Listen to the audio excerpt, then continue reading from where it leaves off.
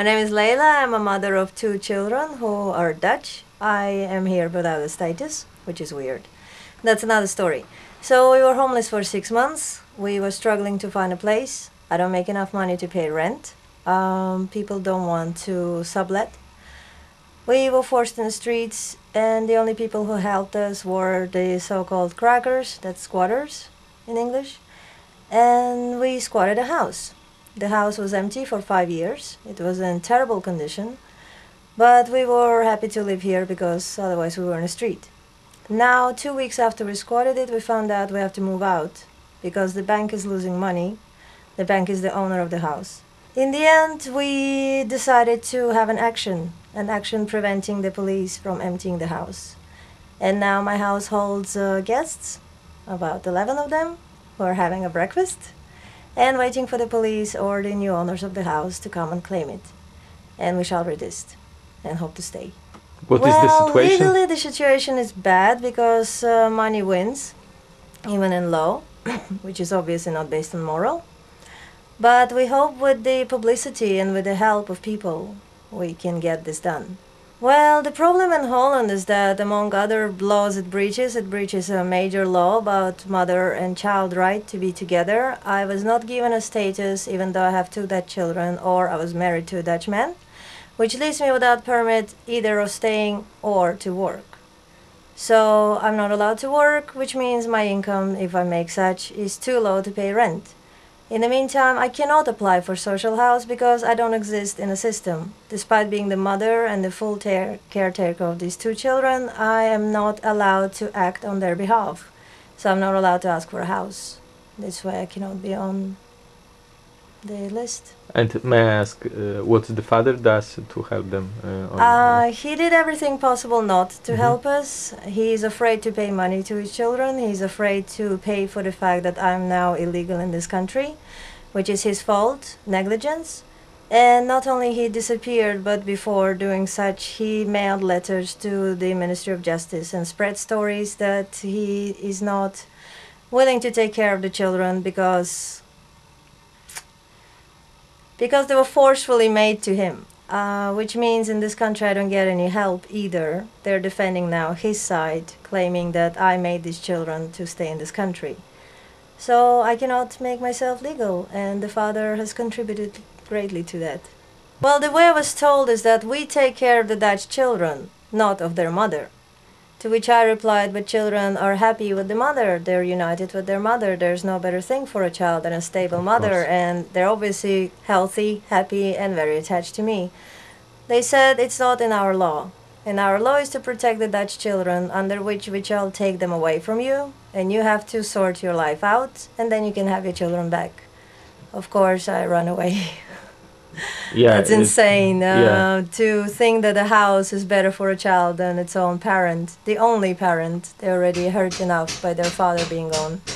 No, here it doesn't exist. The care for the what is best for the child or for the mother or for a spouse does not exist. Families are nothing but banknotes, and if there's not enough banknotes, then it's not worth enough.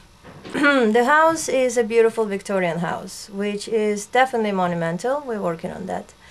So, under any law, it has to be either rebuilt in the same condition as it is or have a permit to be demolished. It doesn't have either.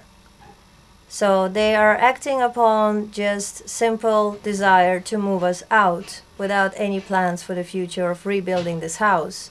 In fact, I did propose that we leave as soon as there's a permit without any struggle at all, but they just want us out.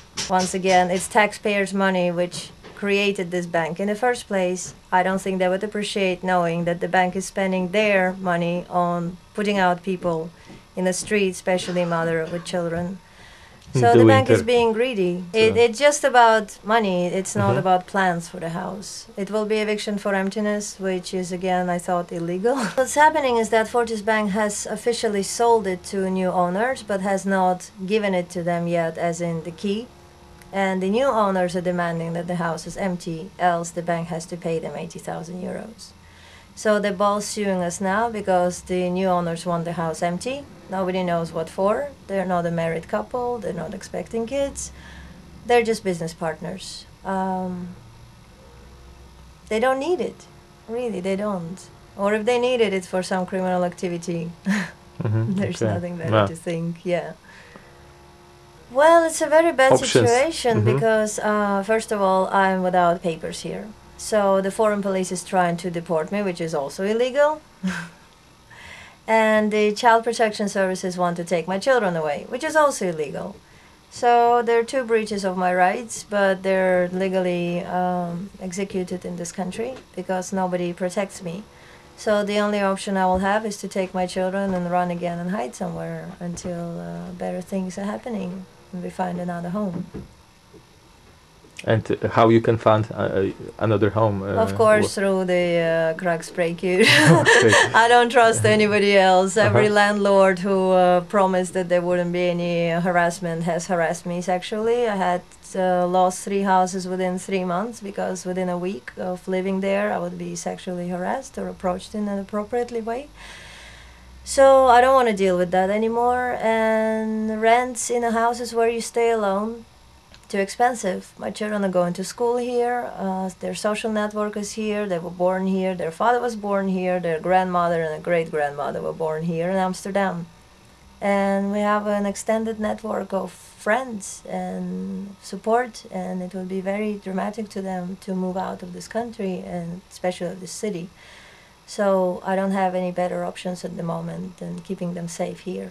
So 15 uh, February, it would be another day, like It when you meet people in, when I inside. need people to gather together Mhm. this time seriously, not just 10 people for breakfast, but in large quantities to show support because legally we cannot win this. We can only win this by intimidation.